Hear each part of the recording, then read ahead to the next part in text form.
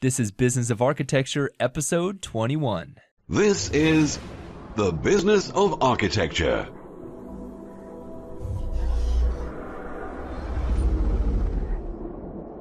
Helping architects conquer the world.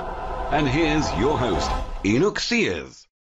Hey, this is Enoch, and welcome back to the Business of Architecture, the show for solo architects, where each week I bring you an interview exploring how you can leverage your skills as an architect to make more money so you can forget about paying the bills and focus on creating great architecture. Welcome, Agile Architects, back to the Business of Architecture. Today we have the honor of having William J. Martin with us. He's the owner of WJM Architect out of New Jersey, about 15 minutes outside of Manhattan. So welcome to the show, Bill. Hello. I'm glad to be here. Well, it's, it's good to have you. So Bill, you are an architect, you are a sole practitioner, and I've told our audience a little bit about you, but go ahead and share a little bit about yourself personally, and then tell us a little bit about your business. Okay. Um, depends on how far back you want me to go. Uh, first, the earth cooled, then I was born. but at the, uh, at the age of six, uh, my father decided to make some alterations to our house and had some difficulty and I was fascinated by what was going on inside the walls. So at the age of six, I became very interested in this. And of course, you know, like most children playing with blocks and Legos and, and these kinds of things and Tinker Toys and all kinds of stuff like that, I uh, developed a very creative interest in architecture. And as I was growing up and I became an older child, you know, tree houses and forts and things like that, and as I got to be a teenager, I started to learn more about this profession. And I was very intrigued by it. I thought it was a great way to spend my life. So I decided that uh, this is what I would study. I also dabbled in photography a little bit as a teenager. Um, but that's how I ended up deciding on architecture as a profession. I applied to colleges. I got into most of the colleges. Uh, I got into my top three. That, uh, but I wasn't shooting for Ivy League. I was shooting for a well-rounded education. I uh, uh, attended Carnegie Mellon University for three years. I spent the first two years in the architecture program, and I decided that I needed to have a broader horizon, and I decided that uh, I wanted to understand the business and economic side of the profession. So I spent the last year at Carnegie Mellon in managerial economics, uh, and then I left Carnegie Mellon for Pratt Institute in New York City, which is not far from where I am now in Brooklyn, where I continued my architectural degree and also studied real estate development so that I could have a well-rounded understanding of the economics of design. I needed, I realized early on that I needed to know uh, the underlying economics behind the decision making that goes into creating buildings. And this is not something I, that I found was part of their regular curriculum. So that's, that's my educational background. Um, after that, I interned with three architectural firms and very quickly uh, moved on, uh, passed my exam, very quickly moved on, hung out my shingle as soon as I could and uh, to get my uh, sole proprietorship started.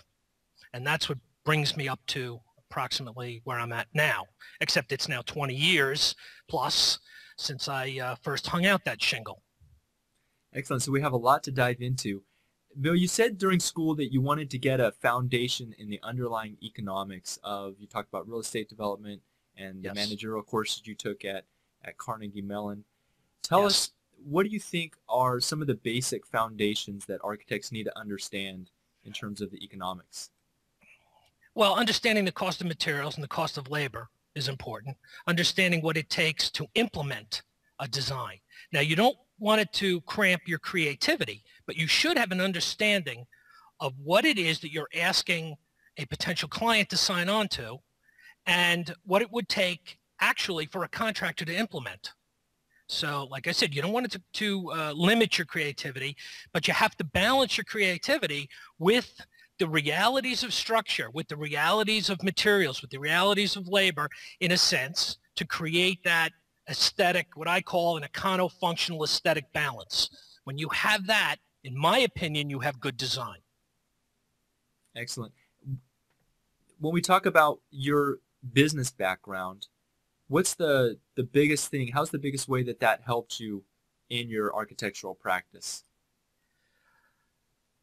Being able to discuss with clients what their goals are in a way that shows that I am trying to help them and not just help them to achieve good design, but also help them to achieve a, uh, an efficient um, expenditure of their resources, whatever that may be, whatever dollars they have devoted to a project. I want them to understand that I'm with them in terms of trying to uh, uh solve, achieve their goals in, in every way. Okay let's dig into that a little bit. Can you help me? Do you have any examples or maybe a, an example conversation, how that conversation would go?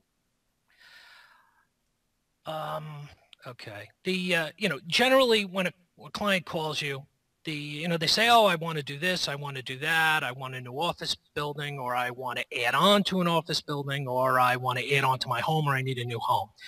Then, you know, very soon after that, the next question is, oh, but I have a budget. Now, so everyone has a budget.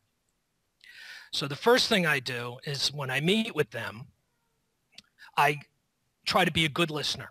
I try to find out what are all of their goals. Their goals are not all economic. You know, it's not all about building cheaply. It's about achieving uh, uh, the space that they need, but achieving it in, in a reasonable manner, what, what they define as a reasonable manner.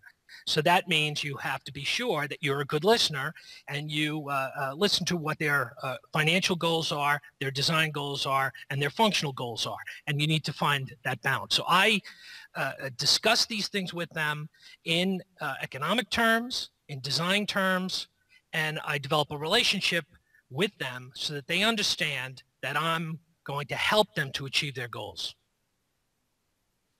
Okay. And so what are some example uh, questions that you might ask those clients on your first visit with them?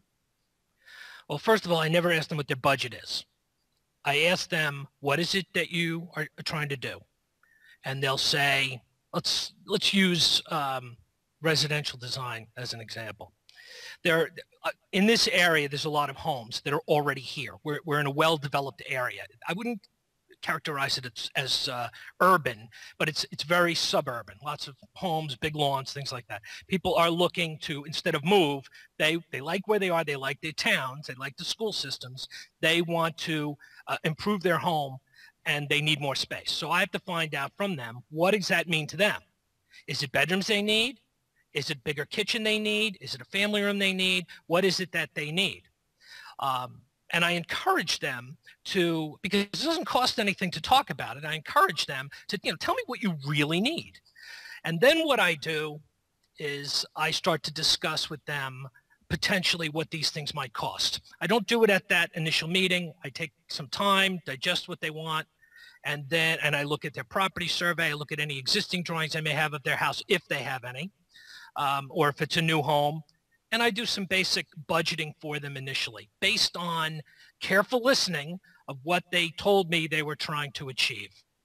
And then I begin a discussion about, okay, this is what you told me you wanted to do. This is how much I think it costs, plus or minus. So this is what you're getting yourself into. It gives them a chance to take a step back early on in the design process and understand what the value is that they're going to get in relationship to what they're going to spend, in relationship to the ultimate aesthetics and the design of, of their home. It helps them to understand their goals. That's the first thing that I do.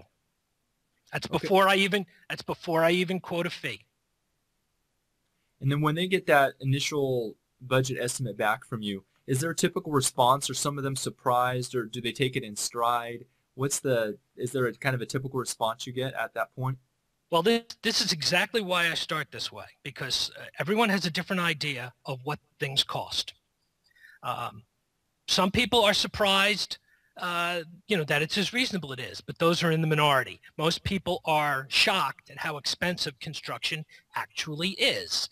Um, and because of my background, I can get them pretty close. Provided they tell me everything that they are trying to accomplish, I can get within uh, 5 or 10% of ultimately what it will cost to do what they want to do. And that's based on you know normal middle range stuff, the, the normal things that people expect to find in this area, uh, it, you know, in terms of 2013 dollars, so to speak. So I, I speak in very economic terms when I talk to them about costs because they're very concerned about it. They have to make sure that they can secure the, the financing and the resources to uh, implement the design. So it's important that these discussions happen early on. Okay. Now, have you, what would you, what would be, I'm going to play devil's advocate here. What would you say if the client at that point says, okay, um, Mr. Martin, thank you for, thank you for taking your time to do the budget. You know, these numbers seem a little bit high. We talked to our, our brother-in-law. He's a contractor and we're going to do owner build. Um, you know, he says we can build this for $80 a square foot and your numbers are higher than that. How do you, where do you, how do you handle that conversation? This happens all the time because very often uh, when others talk about construction costs, they leave a lot of things out. A lot of uh, builders and contractors, and, and there's nothing wrong with the way they do. There's an actually economic reason why they do it. But they leave out a lot of the finishes. They'll leave out the tile in the bath. They'll leave out the bathroom fixtures, the lighting fixtures. They leave all those things out. So what happens is their numbers will gel down to a lower number than what I'm talking about. But I make it clear to my clients that I'm talking about complete and finished construction. They're going to want bathroom fixtures. They're going to want lighting fixtures. They're going to want kitchen cabinetry. They're going to want the stone countertops. I mean, I'm not talking about bare bones bottom line stuff. I'm talking about normal middle range finish and fit up that most people would want in their market. And again, I talk very, I, very often I will talk in economic terms as I describe design so that they will understand that I'm here to help them to achieve their goals. Is there any time when just because of what the client, the way the client is approaching them, that you want to vet them a little bit, that maybe say, maybe, maybe you're not the right client for me because you can sort of see down the line that there's going to be problems with their budget numbers. Does that happen very often? Uh, it, this happens all the time, and I am fortunate that I do not have to take on every client that comes my way. Um, and part of the reason why I do this initial evaluation of what they're trying to achieve is to help me to ascertain as to whether or not it is achievable based on what they're telling me their project constraints are. If I don't feel that their goals are achievable, based on uh, what they describe design-wise and what they describe as the resources available to execute the design, I will politely decline the project. But I make it clear to them because I, I want to help people. I became an architect to help people. People struggle with this all the time, and they're talking with other people who may have a vested interest in their decision making. So you know, as I decline a project, I will say to them, you really need to be very careful how you proceed because you could end up making an expensive error. So take a step back, you know, be calm about it, but make sure that you understand the context into which you are now about to try to achieve something that, in my opinion, may not be achievable. Bill, I'm trying something new today with the interview, and I want to ask you for a success quote. Did you come prepared with a success quote that you can share with us today? Um, I did. uh, I'm a big fan of Mies van der Rohe. I enjoy not so much his architecture end product, but his search for essential factors in design. Um, so I, I prefer his quote, God is in the details, as being very descriptive um, as to what we do as architects on so many levels. Uh, in fact, I've turned it around and many people have turned it around and said, well, the devil is in the details. So then you've got to decide whether, you know, which force do you believe is the stronger spiritual force? But the, the fact is that the details matter in everything. They, they matter in your conversations with clients. They matter in your conversations with contractors and other construction professionals. They matter in the, the uh, construction documents. They matter in the design documents. Uh, the details matter. And the success of the design, the God in the design, is in those details. So very, that would be very, my quote. Very appropriate quote, Bill. Appreciate it. so let, let's take us back to those early days when you started your firm because like you, we mentioned in the intro, you are a sole practitioner. And yes. tell us about the process of getting your initial license and then deciding that you wanted to go out on your own? All right. I, uh, I realized very early on, almost even before I was in college, that I needed to understand the economic basis behind what I wanted to do professionally. Uh, as soon as I was able my very first summer after my freshman year, I went out and got a job in an architectural firm. And that first year I was mainly, mainly running blueprints and I did get to do some drawings. The, I was very fortunate that the uh, architects in that firm uh, felt very strongly about giving back to the future of the profession. And even though I had limited skills, uh, they brought me on and I learned what really happens in an office, which is so much different than what happens in your first couple of years in architecture school. So I did them my first summer. I went back my second summer. And um, after I left Carnegie Mellon and went to Pratt, I pushed all of my course load into three days so that I could then work the other three days. Wow. So I did that for three and a half years until I graduated from Pratt. My degree is in architecture. I graduated with honors. It's a Bachelor of Architecture degree. And at Pratt, they didn't have, they didn't assign a uh, an alternate degree or a minor. So I kind of pursued this on my own. But I tell people my concentration was business economics and real estate. And that's what my educational background is. So I came out of school with it with not just the college education, but also having interned over the four or five intervening summers and then working all year long in a firm while I was carrying a full uh, full course load. Uh, it was not easy to do, but it was, in in my view, it was absolutely critical. I came out of school understanding the context in what I, in which I was then going to get a job, finish my internship, and then start a practice. Okay, I'm going to uh, pause you right there, Bill, and I'm just going to ask about you mentioned that you got to see what really happens and you had some additional knowledge that maybe some other architects architecture students who just go to a more traditional route don't have what are some of the things that you learned that other architects coming out of school might not know about how the details actually get worked out um, it's important because you know you uh, back then we were all everything was on drawing boards we're drawing everything by hand. It was a very traditional uh, way of practicing. I mean, it was back in the uh, early 80s. Uh, um, you know, drawings got done. They went out for bid. And as they were being built, we would very often have to develop additional details to address issues that came up during the construction. This was fascinating to me because it had to work within the context of what had already been designed, uh, and it had to achieve not just the economic goal of not costing more, uh, but also um, fulfill the function and uh, enhance the aesthetic. And I found that to be fascinating as a way that the, uh, uh, the architect interacts with the contractor and interacts with the owner while the, the building is getting built. That is something that, uh, you know, I understand things are changing in the colleges, that internships and, and externships, whatever they want to call them, are becoming more popular. And I'm very glad to see that because I, I learned an enormous amount from working while I was going to school is very important. In fact, when I came when I came out of school, when I applied for jobs, it was uh, we were in the middle of a recession. I sent out ten resumes. I got eight calls, and I got four offers. So I was very fortunate to have that experience. It also gave me an edge uh, in terms of trying to get a job coming right out of out of college. So that that I can't stress that enough so let's, let's boil down, let's boil down one lesson for students that are in college that might be listening to this now from what you learned about your experience to help you get a job. How would you boil that down into one sentence? I would say into one sentence. Oh sure, oh a couple sentences. I could speak for hours and volumes on this. Um, study business, take economics, basic economics. Doesn't have to be complicated. Just basic economics about how things are optimized how uh, uh, things are efficiently distributed. These are valuable skills to help you in your thinking process while you are designing. Uh, and go out and get an internship any way you can.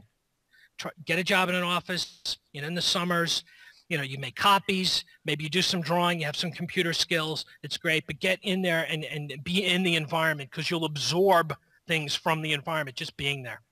Okay. So you graduated from school you went on to work for three different firms, and then you hung out your shingle. Tell us about the the process of going from full-time employment to self-employment. Well, you, you at first I had to build up some dollars to uh, be able to um, you know bridge over. So you were saving. So you did you go into yeah. that first job knowing that you were going to try to save enough money to build yourself a runway? Absolutely. You have to plan ahead. I knew that I wanted to have my shingle out as, as quickly as I could get it out there. Uh, going into business is a risk, and um, I, needed to do it early in my career so, because it doesn't get any easier as you wait. Uh, so the, the sooner you begin to, to make you set yourself up with short-term goals in order to generate uh, maybe some savings in order to bridge over. And then you have longer-term goals. Where do I want to be in a year? Where do I want to be in five years? Where do I want to be in 10 years? Um, these are the kinds of things that you have to decide early on. Now, some architects come out of school, they want to go to work in a large firm. They want to do, they want to be involved in high profile skyscrapers or things like that. And that's great. That's wonderful, but that wasn't for me. I wanted creative control and I wanted to start from the ground up.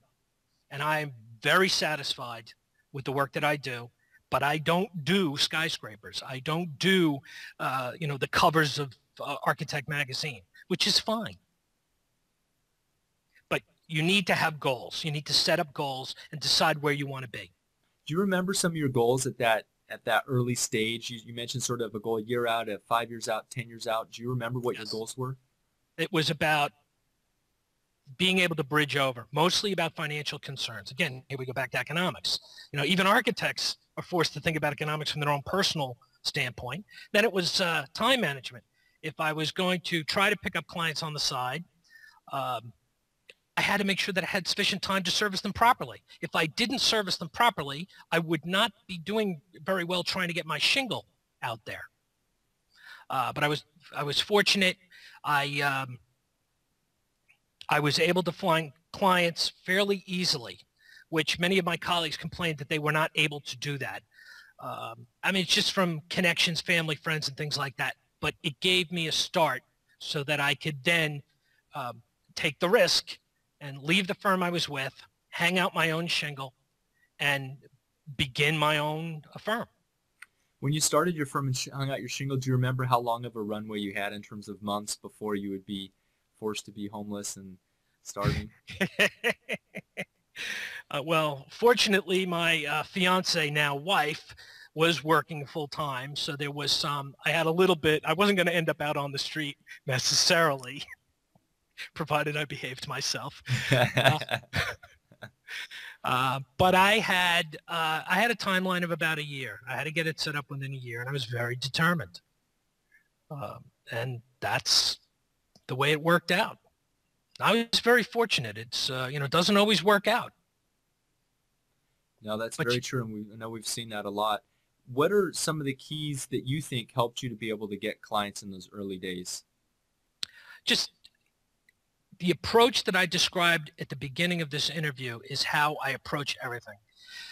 Clients noticed immediately, especially, especially commercial clients who are very concerned many times about resources, that I was someone that they could talk to, that I wasn't talking about um, high design, far-flung ideas that were going to ultimately be risky for them to try to implement because there were too many things that were undefined about how it would end up. I talk to them in real terms, in economic terms.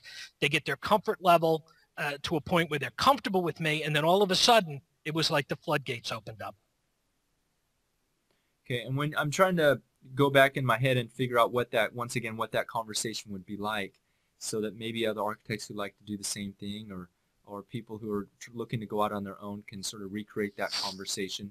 If you had a commercial client come in there what sort of things would you say to demonstrate that you are capable that you're going to pay attention to the budget and that like you said they don't have a lot of risk of you doing some strange thing that they haven't heard of before or taking them from left field First, I want to point out that risk is not all about money. Risk can also be about hiring someone and you're unsure that they're going to be able to complete the task that you're giving them. So I would focus more on that. What I do is when I get a commercial client, I research them. I try to find out about them. I try to find out what, the, you know, I ask them what their goals are. Um, but I also try to find out some background information about them ahead of time so that I can understand better what their goals really are. If I have a commercial client that's built a lot of high design, then I focus more when, in my discussions with them about how we can achieve more high design. A client like that has the resources to implement a complex design and they're not afraid of it. They want to understand that you have the skills to create the design that they're looking to implement. Now, a client that is a small operation, a small commercial operation, is going to be much more focused on economic resources like money, financing, construction costs, things like that. So when I, as I research my client, as they tell me about what their goals are, I focus my conversation onto those aspects. I can do both. As an architect, we're trained in aesthetics, functions, and you know, with all the experience I have and my education, I'm also trained in the economic side. Uh, many architects develop that economic sense as they practice. So this is how I approach a new client, especially in the commercial side. Okay. So you mentioned in terms of going out on your own, just going to rephrase here, you said that you had saved up enough money to get you through a year of practice. Yes. And that you had a network of friends and family that was able to provide you with some early clients. Right. Did you do any active marketing during those those early years? Um, it was before. It was really before email started. Email didn't take off for a while, so the internet was uh, was not there yet.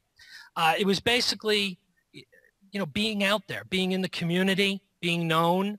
Um, I sat at the time I was appointed by the local government here. I was appointed to the zoning board to be a member of the zoning board, volunteering in the community. That's an unpaid unpaid position, by the way.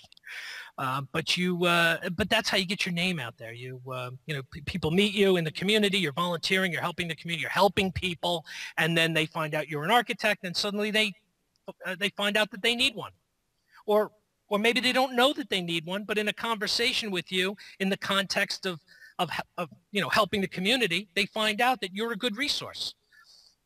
You want to be a good resource for the general population. And that's how you get recommendations, and that's how you get referrals, and that's how you can pick up clients. Okay. So in addition to volunteering and getting yourself out there, did you do any other active marketing? I didn't initially because it's expensive. It, it was expensive at the time. You're talking about print media essentially at the time. So I, uh, I relied on the clients that I had and I asked them point blank, please recommend me to your friends and family if they need something. I mean, even if they're not sure they need something, please give them my name. I will come and talk to them about it. And, uh, you know, I can at least help them if they want to decide against something, I can help them decide against it even. In fact, I have that conversation with clients even today. Uh, very often they'll ask me, you know, is it worth doing this? And I said, well, that's, you know, a question you have to ask yourself. But maybe you're not ready to do anything. Why don't you sit back, you know, for three or four months, do some more homework, and call me then. Bill, I've heard that running a firm by yourself as a sole practitioner is like pushing boulders uphill. Tell me about a failure that you've had and how you've overcome that failure and turned it into success. Okay. I mentioned earlier that you had to have long and short-term goals as you begin this process of, you know, trying to hang out a shingle and get your business started. The biggest mistake that I made early on, and it it occupied me for about the first four years. Now, it wasn't that I wasn't making money, but here's the mistake. I wasn't clear with myself as to whether I wanted to be a big firm with lots of employees or whether I wanted to be a small firm and focus on design and have less employees or in the current situation have, have no employees. At that time, again, computers were coming into use, but they were not there yet. So you're still talking about drawing by hand. Uh, you're talking about manpower involved in drawing by hand and uh, and those were the the aspects of things that I was dealing with in the first few years of practice. But that was a mistake. I should have been more clear in my goals, and I should have been more honest with myself about whether I wanted to be a big firm or whether I wanted to be a little firm. At first, I thought I want to be a big firm. I mean, I I again, I was very fortunate starting out. I came out of school in the middle of a recession, but there was money out there to do things. Not everybody needs a bank in order to build. And I was fortunate to come into uh, some um, uh, some clients with that were in that situation. They had spent decades positioning themselves that they didn't necessarily need to borrow lots of money. So they were in a good position in a recession. And that's when they did work. They did work in the recession when no one else was. So I connected with, um, with this uh, real estate limited partnership. They were very nice to me. They, I did a lot of work with them. I did shopping centers. I did distribution facilities. I did big projects. I mean, redesigning 750,000 square foot warehouses. Um, they had several shopping centers. I did facelifts on them. Uh, some nice design work, not not crazy stuff, normal stuff. Um, I think we did a good job in relation to what they were willing to devote in terms of resources. Uh, but it was one client that was occupying nearly all of my time. And I did that for about three to four years. Now, I did have other projects going on with other clients, but I was hoping that that large client would then branch me off into other large clients. That didn't materialize. I learned a valuable lesson from that. Uh, they were very good to me. And, um, you know, as the economy, believe it or not, as the economy started to get better, they started to do less.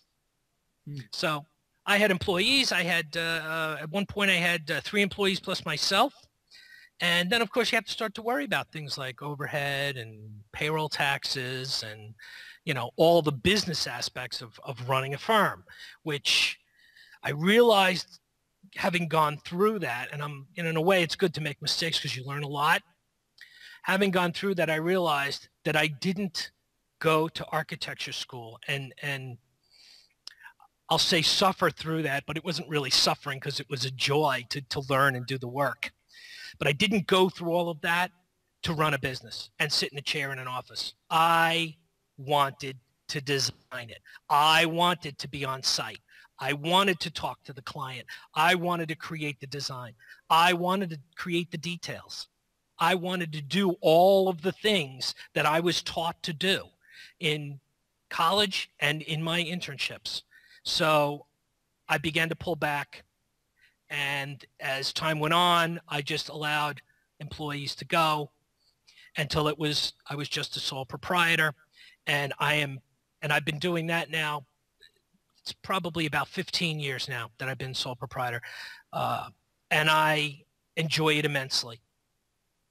And a lot of the reason that I've been able to do it has been because of the imp- tremendous improvement in computer technology in terms of how computers help us to execute our, our designs.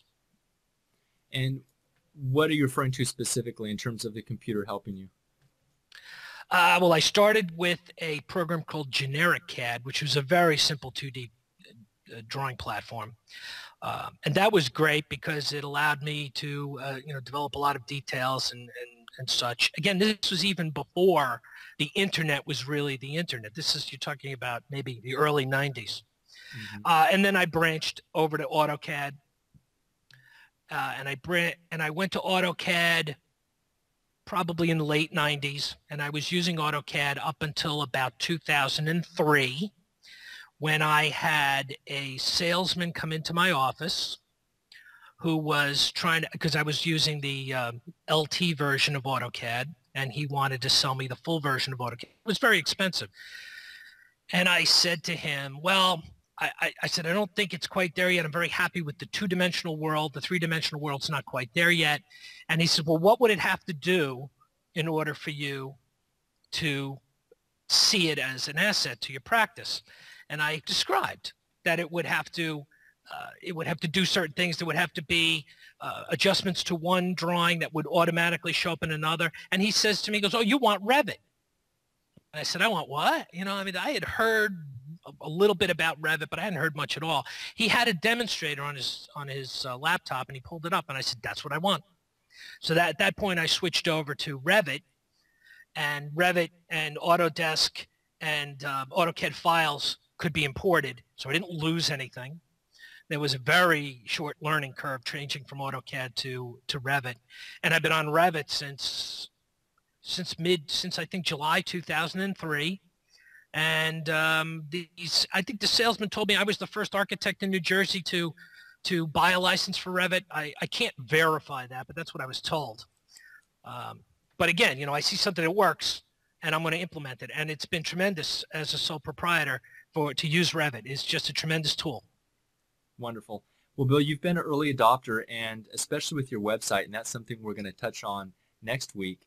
Um, but before we finish up today, I just wanted to ask you, what are two or three action steps that you could recommend architects take who are looking to go out on their own but are currently employed by a firm?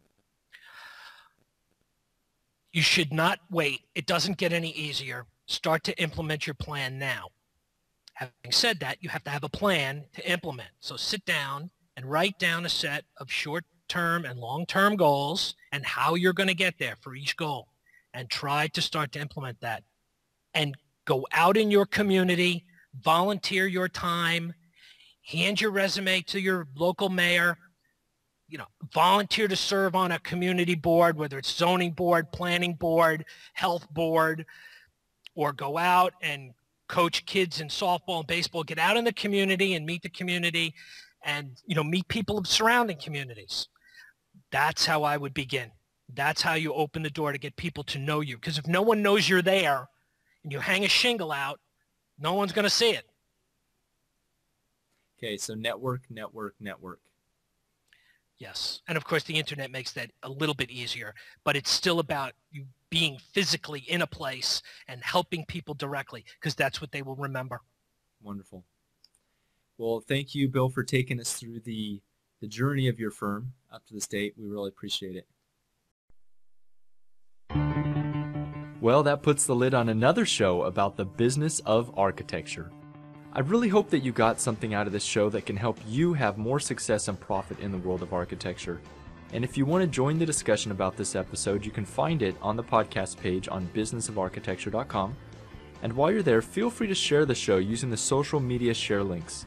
If you sign up for the Business of Architecture Insider List, I'll send you other resources like the Architect Marketing Guide and information on how to use web tools to get more visibility for your firm and your work.